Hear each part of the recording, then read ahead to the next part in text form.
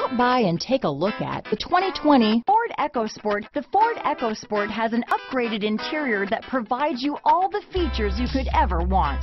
It also offers you the functionality of an SUV, but in a size where you feel in control. Here are some of this vehicle's great options.